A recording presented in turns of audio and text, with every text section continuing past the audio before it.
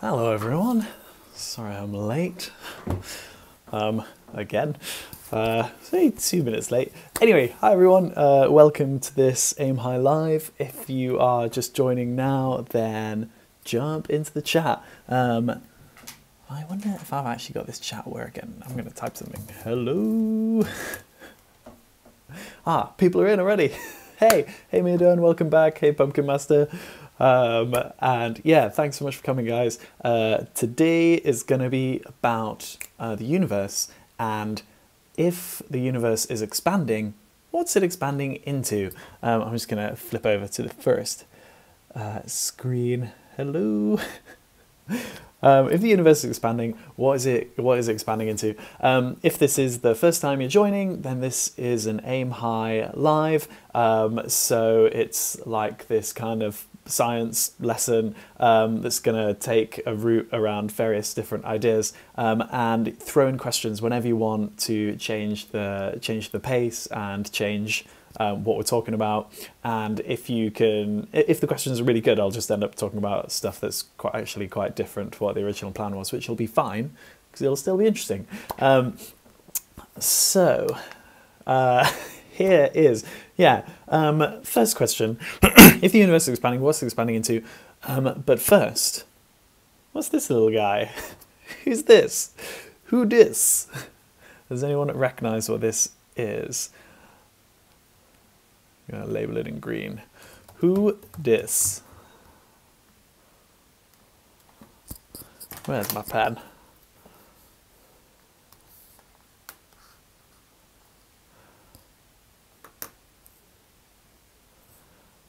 Ah, okay. And I've got a message coming in from Kieran saying, hey, any chance these can be recorded so us down in Australia can watch them and not at 11 p.m.? Yes. If you go on uh, the website, which is just kind of here, there, uh, www.aimhi.co, um, then they're all recorded on there, or lots of them are.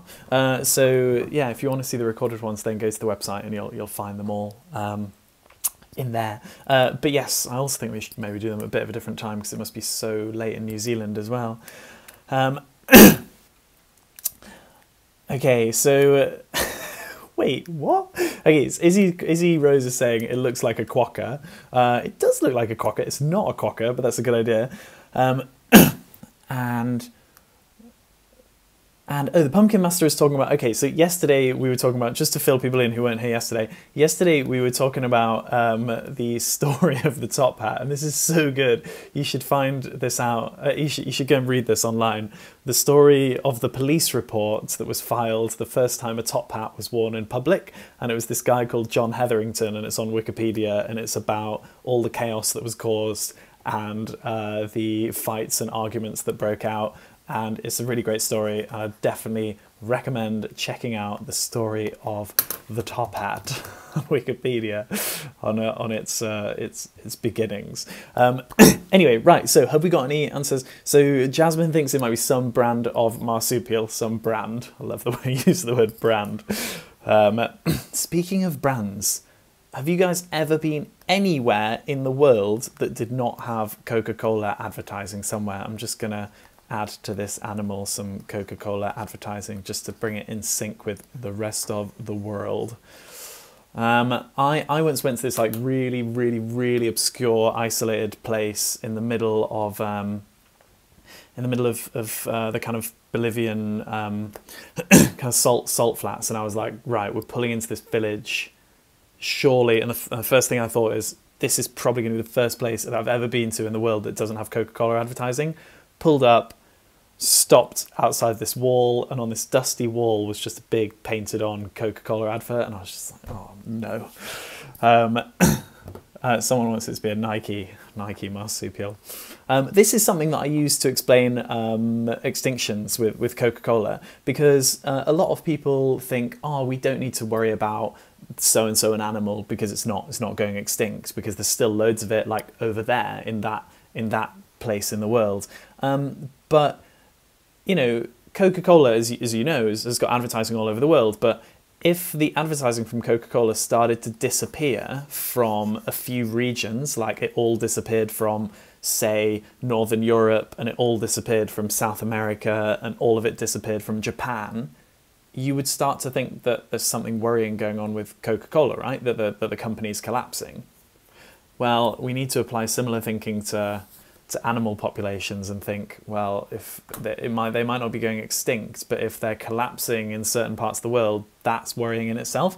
so that's why a lot of biologists try to get people to think about what are called local extinctions. Where's my mouse? Um, local extinctions are in many ways more important than, well, not more important, but like very, very important things to think about. Anyway, right, what do people think this is? Um, so lots of people saying it's marsupial. Uh, Jeff saying, sorry, he's late. Absolutely fine, mate. Uh, we haven't started about if the universe is expanding, what's it expanding into yet. All I asked so far is, what is this animal? And the answer is, I wonder if there's anyone from South Africa watching, because this is a South African animal um, that I call, well, it's called a hyrax, um, but I think in South Africa they call them dassies as well. I think they're called dassies. Um, but yeah, it's it's a it's a hyrax or it's a it's a rock rock hyrax. Um, so uh, does anyone know um, what people think? Uh, so, sorry, does anyone know what the closest living genetic relative is to the rock hyrax or the dassie? What do people think is the closest living genetic relative? And I think um, Oh, Sean's just come in with Hyrax question mark. Yes, Sean, you are correct. that is a Hyrax. Um, I don't know if that was your guess. And hi, Mariella, welcome. Um, so yeah, if you're well, um, I've just asked people what they think the closest genetic relative is of the Hyrax. And if you're joining us late, this is an AimHi Live. And this one, the question is, if the universe is expanding, what's it expanding into? But we haven't started talking about that yet. We just talked about the story of the top hat and how it, how it was originally released into the public great story with this featuring this guy John Hetherington.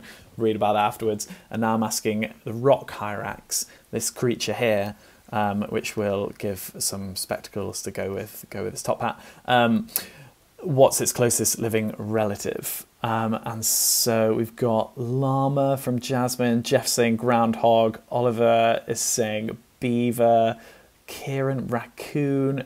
Okay, Victor and uh, Izzy are both spot on, is an elephant. It's an elephant. Um, the Hyrax's closest living genetic relative is an elephant, which is kind of unbelievable. And its second closest, ah, oh, let's see. Okay, so especially those who got this right, because there were two answers that were totally spot on. Does anyone know what its second closest living relative is? Um, yeah, I wonder if anyone knows. Um, and uh, Mariella as well also just joined. Don't worry, we've we've not started talking about the big question yet, which is if the universe is expanding, what's it expanding into?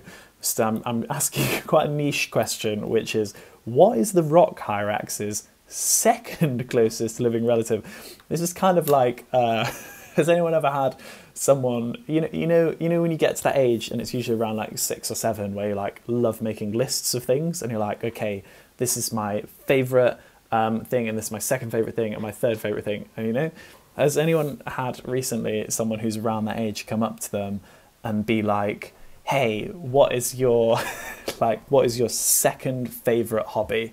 And you're like, "Okay, thinking through my list of hobbies, don't know."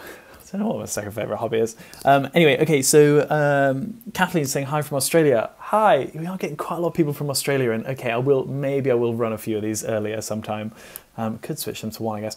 Jasmine's just come in with Manatee as the second closest living relative of the Hyrax, which actually I think is bloody close. I think it's. I think well, I was thinking Manatee or Dugong, um, which are those which are those two kind of aquatic mammals, and they are the other things that are really close living relatives of a Hyrax.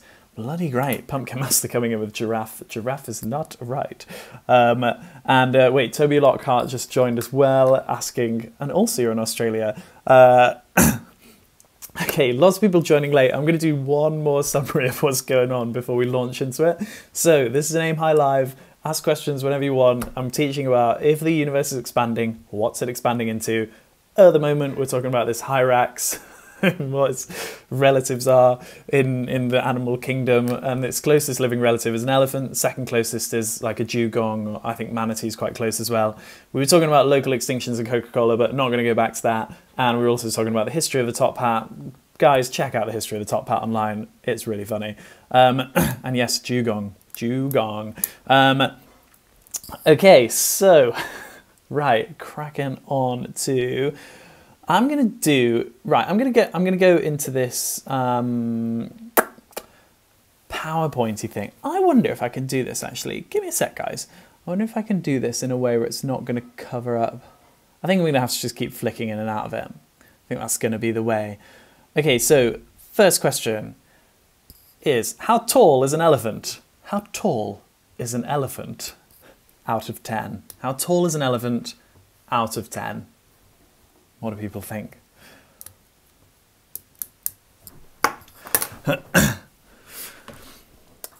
and yes, while people are just starting to answer how tall is an elephant out of 10, um, I will, it's 11.13 p.m. in Australia, I'm going to start eating this orange. Okay, I'm not getting any answers so far of how tall is an elephant out of 10, so I'm just going to come straight in with it and say 6 out of 10 is pretty solid. Now, it's 4 out of 10, it's 4 meters out of 10. Um, so, yeah, it's about the same height as T Rex, which is a good, good 4 meters or so. Now, if you shrink a T Rex and an elephant down to that size, you get this. What do people think that is?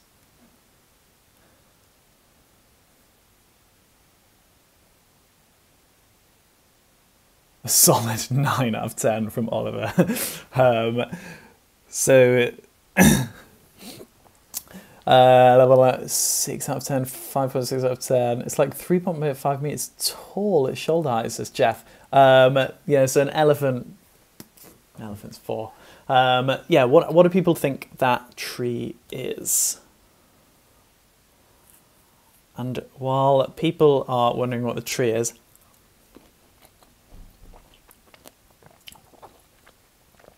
Hmm. Okay, so there's a lot of people coming in with the tallest tree ever. and people want to see the tree again. Okay, problem is I haven't figured out how to show you the tree whilst also be able to being able to read the chat. I've got to work on that. Oh, I feel like my internet's running a bit slow. I'm going to show you the tree and I'll be right back. I'm going to move the internet to a faster place.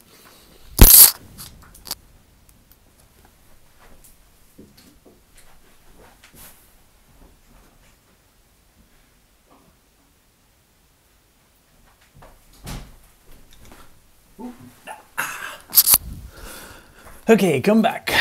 Let's see what people say. Redwood. Yes, it's a redwood tree. It's a giant redwood tree, and a giant redwood tree is gonna be um, how it's gonna be 100 meters tall. So if we zoom out from a giant redwood tree that's about 100 meters tall, then compared to that, it's about this size compared to that building. Now, do people know what that building is. What do people think that building is? Now, I'm just going to come out of here so that I can draw some stuff. Oh. In fact, let's draw it here. So, while I'm waiting to find out what people think that building is, um, that's way taller than a giant redwood tree, I'm just going to give it another draw, even though I can't. Oh my god, this drawing's so bad. anyway, whatever. There's the tall building. It looks like a kind of floppy rocket that you just. If someone invited you aboard that rocket and were like, "Come on, we're to space, climb aboard," you just wouldn't get in, would you? You would not get into that rocket. Um, okay, yeah, it's the Burj Al Khalifa. Um, Mia Doan's coming in with, and that's right. So, does anyone know? Did anyone know that the Burj Al Khalifa is one of the only places in the world that you can see the sunset twice? Why do people think you can see the sunset twice from Burj Khalifa? And while I am finding out what people think about that, I'm just going to go to the next bit of size. So yeah, if we bring back the Burj Khalifa and we that's about 828 meters and we shrink that down to that tiny little thing, um, then if we compare that to this, what do people think that is? I'm going to go back to the Burj Khalifa. Um, and yeah, so the Burj Al Khalifa is the building in the clouds. Why do people think you can see the sunset twice there? Any ideas?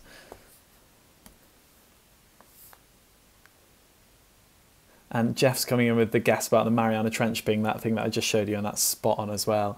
Um, okay, so Milo is thinking that you can see the sunset from the bottom floor and then take the lift up to the top floor to see it again. Exactly, that's it, yeah. So this is one of the few buildings in the world that is both tall enough and also has a fast enough lift that you can see if this is if these are the hills the, on the horizon, then you can see the sunset uh, obviously, the sun is not literally behind the hills, but pretend that it is. You can see the sun kind of disappear behind the hill down there, and then you can get the lift up to the top really quickly, so fast, in fact, in this building, that you can then see over the top of the hill to where the sun has disappeared, and then you can watch it disappear again.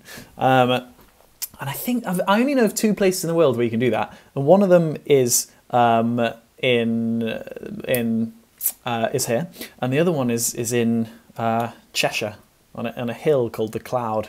Sometimes the sun kind of sets behind it and then unsets and then sets kind of outside again. Anyway, um, right, so and Toby Lockhart saying, yeah, you can see the horizon further and, and that the lift is really fast. I'm not sure how fast the lift, lift is, but it's probably about light speed. Uh, right, okay, so cracking on. Um, this is the Mariana Trench, which is the deepest, um, the deepest part of the ocean. Um, okay, here's a question. If you, right, you know that film Monsters Inc., where they have those doors that go to other doors? If you were to get one of those doors um, and you were to open it up at the bottom of the Mariana Trench, so you just open it up at the bottom, and the other half is going to like Mars or somewhere, just like somewhere in space where the water can just like drain out endlessly. How long do you guys reckon it would take to drain the whole ocean? How long would it take to drain the whole ocean through the bottom of the Mariana Trench if you could open up a, like a door-sized space? Um, what kind of what kind of time frame do you guys reckon? I'm really interested to know what you think. Um, anyway, so the Mariana Trench is about 11 kilometers deep. Um, and it is about the size of this rock. Anyone know what that rock is? Big old rock.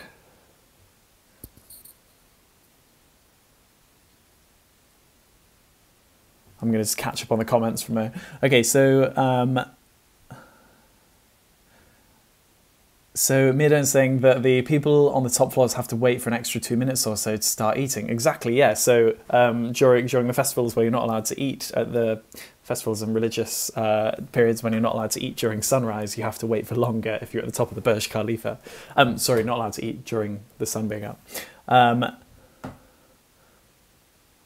and Toby's, Toby's saying that he saw a car advert where they watched the sunset and then drove to the top of the mountain to watch it again. I don't know is that possible? Maybe that is possible. I don't know if any car can drive that fast or if any mountain is sufficiently vertical, but maybe. Um, as in vertical and drivable up. Okay, so we got some guesses coming in for how long it would take to drain the oceans through the through a little through a door-sized shape at the bottom of the ocean, like a Monsters Inc. door at the bottom of the Mariana Trench. Um, and so we got like three minutes, quite a while from Izzy Rose. Nice, Izzy. nice. Uh, a decade, two days, one day. Okay, so there's quite a range. Uh, Mid and saying a billion years. Um, so we, this this hasn't. It's very difficult to calculate this exactly, uh, but it would take on the scale of tens of thousands of years. The ocean is so big. It's so there's so much water there that even with with this plug hole, it'd still take tens of thousands of years to to drain the whole ocean. Um, so we might as well just do it we might as well open up the door at the bottom and just, just get on with it. Um, anyway, I'm going to crack on because otherwise I'm never going to get to uh, to the to space and it's expanding. Uh, okay, so uh, what's coming next? Right, we're continuing to do the size of things. So I asked people if they knew what this rock was. Um, that is the same size as the Mariana Trench, uh, 11 kilometers, and this rock is Phobos, the moon, and it's a moon that is kind of around the right size that you could easily throw a if you were stood on it you could you could take a baseball and you could just throw it straight off the moon. Or you could probably throw it just right so that it kind of like goes around the moon and then comes back and you can catch it behind you. Probably. Um, anyway if we shrink down that moon um, then we can change it to this moon which is called Charon. Um, and this is I think the moon of Pluto if memory serves suddenly I'm getting worried about this, but I think I think it's the moon of Pluto.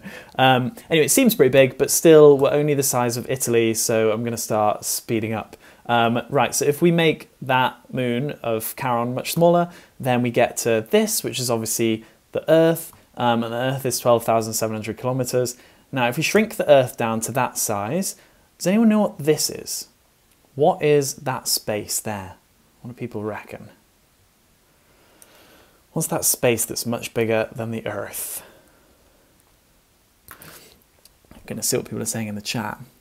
Um, and Paul Janis or Paul Janis just said, Hey Matthew, I'm a student studying astrophysics at the moment. Tell me something cool I may not know. How do you know about Gomez's hamburger? We're about to look at that. Um, I don't know. Have you done about dark energy and dark matter yet? Because we're going to talk a little bit about that if there's time. Um, I Hmm. God, you've put me on the spot here to tell you something cool about space. The what? Okay, there is something really cool I was looking at in space recently. I can't remember exactly where it is, but there's this thing in space called the um, cosmic microwave background radiation that is that basically comes seems to come from every part of space and gives space a kind of uh, a temperature. So it looks like space has a certain heat everywhere, and I, I, say heat, it's actually really, really cold, but still it, it seems to never fall below a certain temperature because you've always got this microwave background radiation coming at you from every single angle. But there's one point in space that is significantly colder than the microwave background radiation. And I've forgotten exactly where it is or what it's called, but it's like a really mysteriously very, very cold region of space. And I was looking into that recently, it seemed pretty cool. Um, Okay, so uh, what do people think this big blue patch is? Uh, space. So Kieran thinks it's the space between the moon and the Earth, uh, and Fatima's thinking the surface area of seawater. Oliver's thinking the surface area of Earth. Um, no, it is actually um, the size of. If I can get it back. That is the size of the Minecraft universe. If you were to actually explore all of Minecraft, then it would it, you'd have to cover that much ground compared to the entire size of the Earth. So it's pretty um, pretty big old explorer on your hands. Anyway, cracking on, 64,000 kilometers. I'm gonna have to speed right up now. Um, so 64,000, that's the Minecraft universe compared to the sun. Sun's pretty big. Um, but actually our sun is really small when you compare it to much bigger stars like Polaris. So Polaris is the pole star. You might have seen this, you know, when you're looking um, uh, in the night sky, you have that classic constellation that looks kind of, this, this you can only see in the Northern Hemisphere, but you have that constellation that looks kind of like a, a saucepan, like that, and it's called the Plough. And if you follow these two stars, then they point you to a very bright star up here, which is called, it's a bit further than that, but it's called, yeah, more like, more like up here, a very bright star up there, which is the pole star Polaris. And this star is always exact or almost exactly north, so you can use it to navigate. And that star is, um, yeah, is, is that big. It's like crazy big compared to, um, compared to the sun.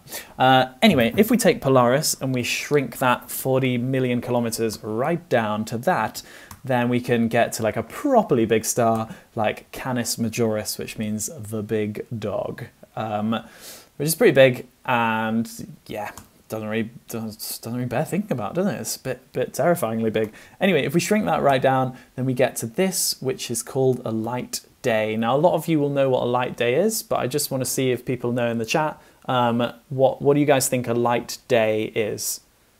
Um, because some people think it's a unit of time and it's not a unit of time. What do people think a light day is? Throw your comments into the chat.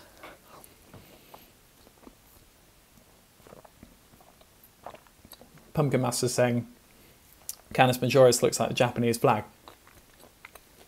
Pretty sure that's where they got the inspiration from, from the expedition. Did you hear about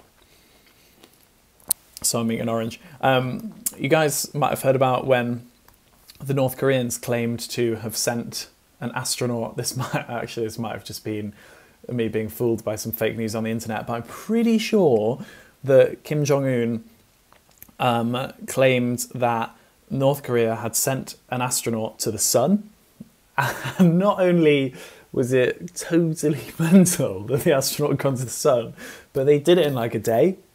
It took like a day, just popped up to the sun, popped back down to the earth. Jobs are good and fine. Um, okay, yes. So people are coming in with great answers about uh, what a light day is. Uh, so it's the distance light, light travels in 24 hours. It says cast, and uh, yeah, it's Jasmine saying how far light travels in a day. Exactly. So a light day is the distance that light travels in one day, um, and that's because it's yeah, light is going the fastest that anything anything can go. Right. So um, that's that's a light day compared to the biggest star. So actually, it takes like takes a good part of a day to to get get yourself past Canis Majoris. It's a bit bit of a journey on even for light. Um, anyway, if we make a light day really really tiny and we zoom it down to that, then compared to that, this is something called Gomez's hamburgers, which is a cool thing in space, which is made of shiny light matter with very dark, non non reflective uh, matter, non emittive matter on the inside, uh, and it looks like a delicious hamburger in space, and that's that. Uh, and I'm just going to speed right through these now. Uh, and then if you shrink down Gomez's hamburger really small, then you can compare that to this, which is something called the Oort cloud. Who knows what the Oort cloud is? There was someone on here who's studying astrophysics um, who probably knows what the Oort cloud is. What do you guys reckon? And Jasmine's asking, what happens if you go faster than light? Well, the problem is you can't even go at the speed of light without becoming light yourself. Um, so to go faster, you can't go faster than light. But theoretically, if you could, if you try and run the maths where you're going faster than light, then the only thing that works is if you're then traveling backwards in time.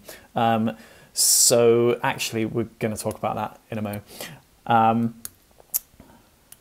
and Jeff's saying there is a bigger star called UY Scuti. There may well be a bigger star. Um, that's yeah, Canis Majoris. I just think has got a great name because it's the big dog. Um, okay, no one's coming in on what they think the Oort cloud is yet, so I will, and maybe there'll be one that's slightly. Say I ought to know. this is pretty wild. nice. Uh, yeah, the Oort. the Oort cloud, great pun. I'm totally incapable of puns, so I always admire people who can pun.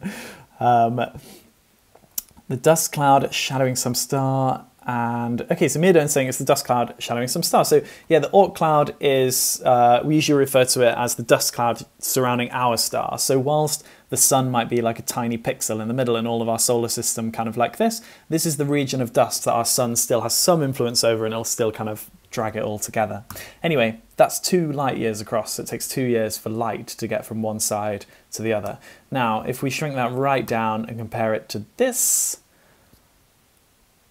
um, then this is the Tarantula Nebula, which is a crazy bright region in the sky that if it was as close as some of the stars in Orion, um, we were talking about Orion the other day. That's one of the constellations you get in the. In fact, I think you can see Orion in Australia, um, close to the close to the horizon. Um, but if if the Tarantula Nebula were as close as some of the stars that are in Orion, then it would be um, like Betelgeuse, I think is one of the closest. Um, then it would be so bright that it would cast visible shadows on planet Earth during the nighttime and during the daytime. Um, so yeah, the Tarantula Nebula is crazy, um, crazy bright, and that's 600 light years across. Now, if we shrink that right down, then we can compare it to this, which is a little galaxy called the Large Magellanic Cloud, which is a little, gal- little kind of mini galaxy that orbits our galaxy. That's 14,000 light years across. And obviously, we shrink that down and we compare it to this, which is the Milky Way, which is 120,000 light years across, which means if you were to um, send a text message uh, from here uh, to your friend on the other side, uh, and then they to text you back, then how long would it take you to get a reply from them? Assuming that you know they don't want to seem too keen, so they're going to take maybe like a day, day to get back, day to reply or something. Um, how long would it take you to to receive a, a message back from from your friend? Um, see what see what people think. Um, and VH is here from Australia too. Yeah, I uh, oh yeah, you can. I thought I thought you could see it in Australia. It's just low low on the horizon, isn't it? Talking about Orion here and how you can see it in the southern hemisphere. Um,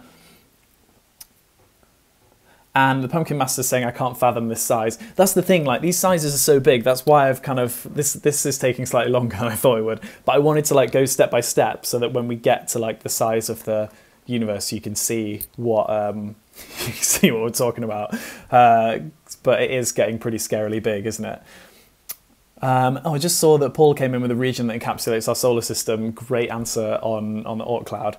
Um, and okay, so 240,000 years plus one day to play hard to get. Exactly, yes. one day of deliberation. Yeah, take a while, take a while to hear back from your from your friend. Um, but okay, so uh, um, I'm gonna. So yeah, that's the size of the Milky Way, 120,000 years. Um, I don't know why I've put this in here. What do we definitely don't have time?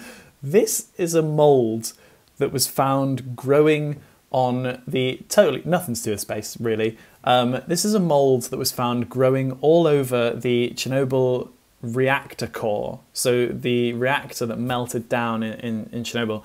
Uh, this mold was found growing all over it.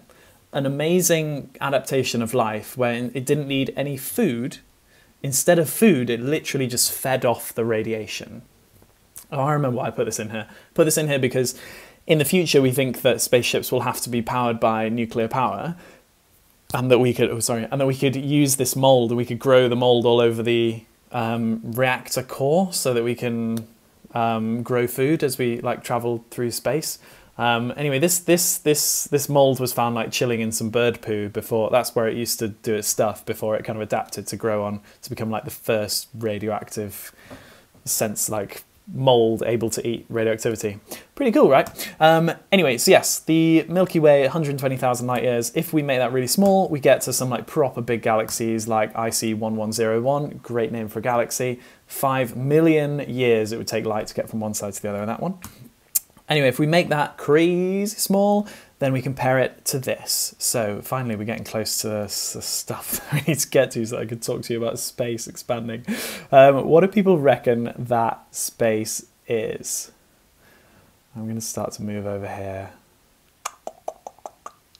because this is kind of where we're heading. Um, what do people reckon that big circle was that was much, much bigger than the than that huge galaxy?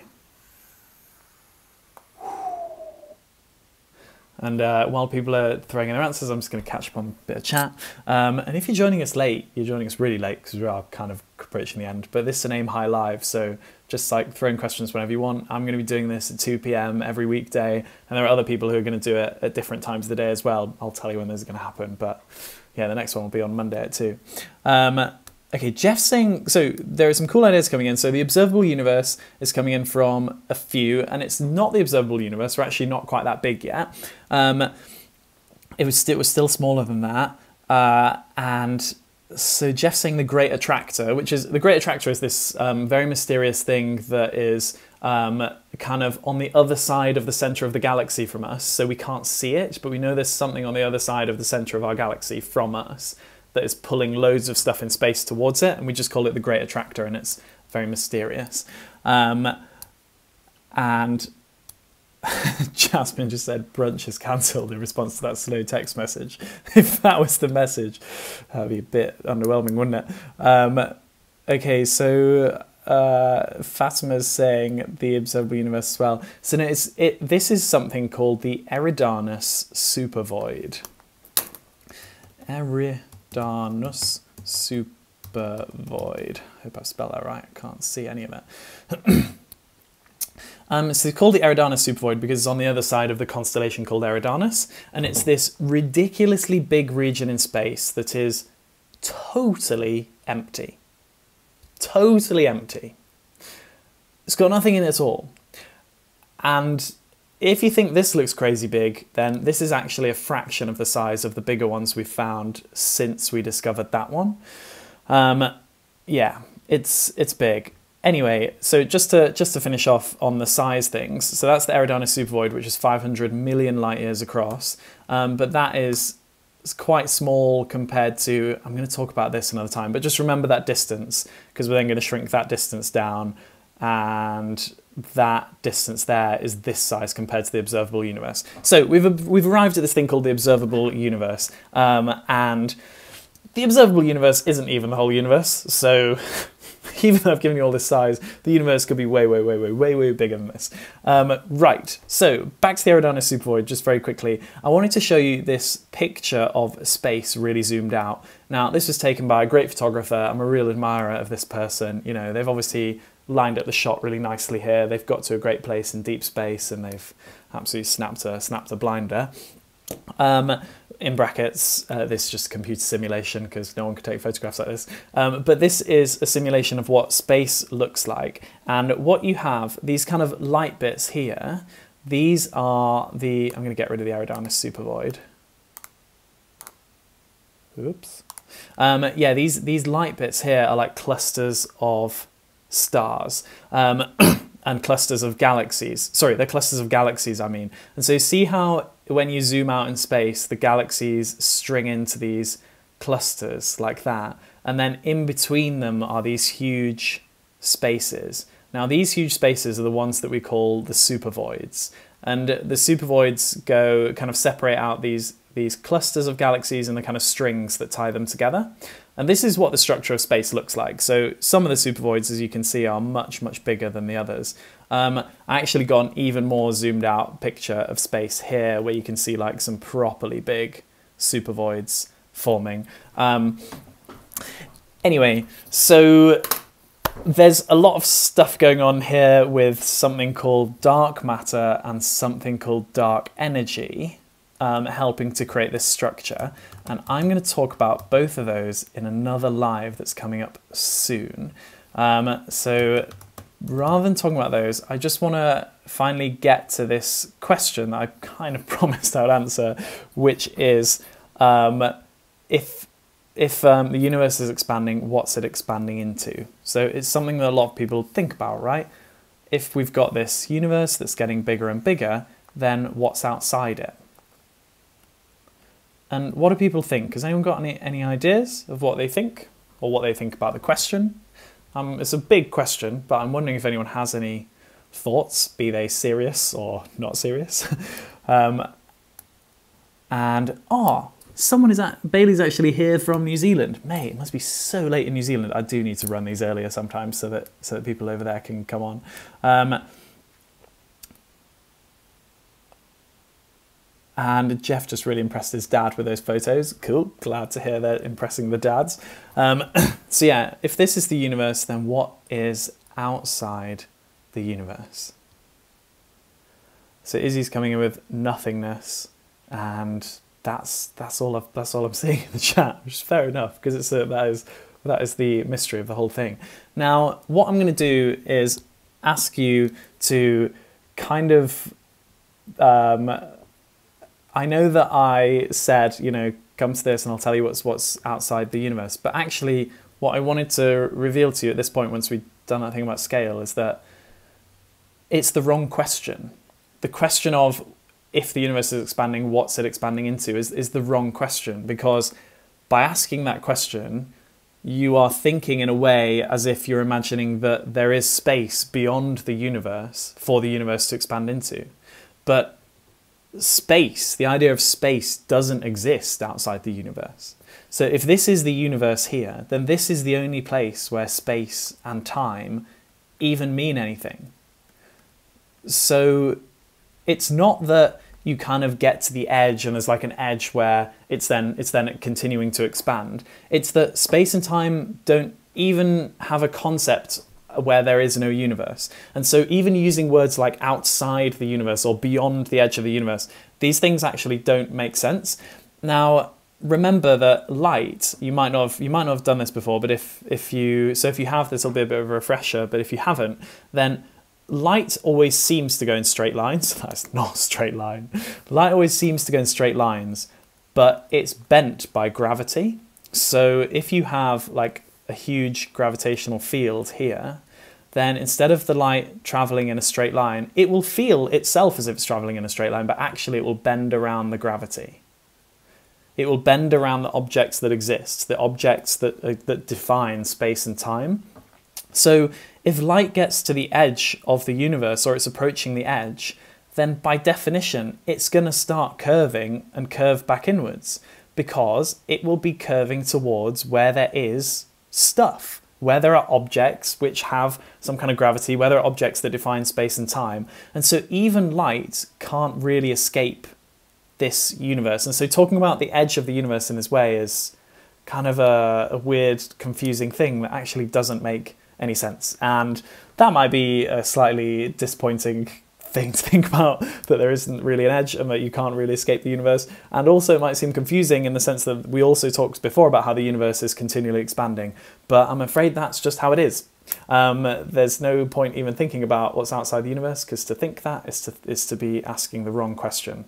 More, what you should be thinking about is how is the structure of the universe defined in terms of what it even means to be approaching a part of it where there is more on one side of you than the other? What does that even mean?